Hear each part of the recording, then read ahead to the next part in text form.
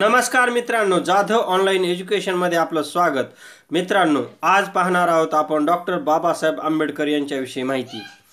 आजच्या कार्यक्रमाचे मान्य अध्यक्ष आदरणीय गुरुजन वर्ग आणि बंधू व भगिनींनो मी आज आपल्याला डॉक्टर बाबासाहेब आंबेडकर यांच्याविषयी माहिती सांगणार आहे. जगात महामानवाला मानवाच्या रूपातच जन्म घ्यावा लागतो.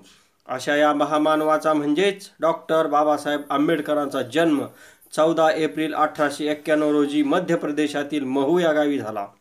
त्यांच्या आईचे नाव भीमाबाई तर वडिलांचे नाव रामजी होते. साताऱ्याच्या प्राथमिक शाळेत शिक्षण पार पडले. एकोणीसशे सात साली मुंबईच्या एल्फिस्टन हायस्कूलमधून भीमराव मॅट्रिकची परीक्षा उत्तीर्ण झाली. मॅट्रिकची परीक्षा उत्तीर्ण झाल्यावर त्यांचा रमाबाई यांच्याशी विवाह झाला. एकोणीसशे ब्याण्णव साली ते बी एची परीक्षा उत्तीर्ण झाले. एकोणीसशे तेरा ते एकोणीसशे सोळा या कालावधीमध्ये ते न्यूयॉर्क येथे राहिले. अमेरिकेत शिकत असताना प्राध्यापक सोलिगमन या शिक्षकाने विशेष प्रभावित केले. त्या काळात त्यांचा अठरा तास अभ्यास चाले.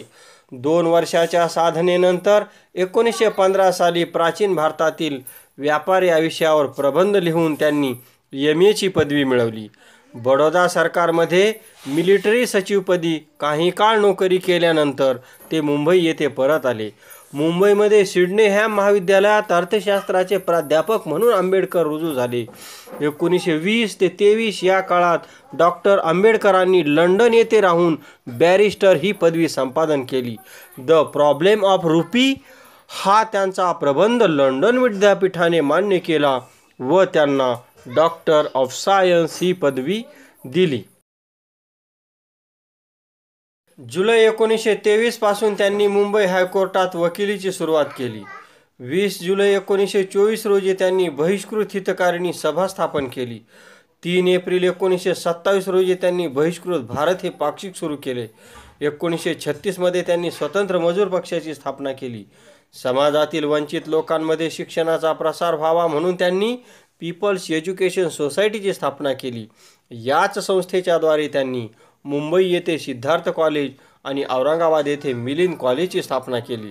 डॉक्टर बाबासाहेब आंबेडकरांना भारतीय घटनेचे शिल्पकार मानले जाते. सहा डिसेंबर एकोणीसशे छप्पन रोजी या महामानवाने जगाचा निरोप घेतला. अशा या महान नेत्यास कोटी कोटी प्रणाम. जय हिंद.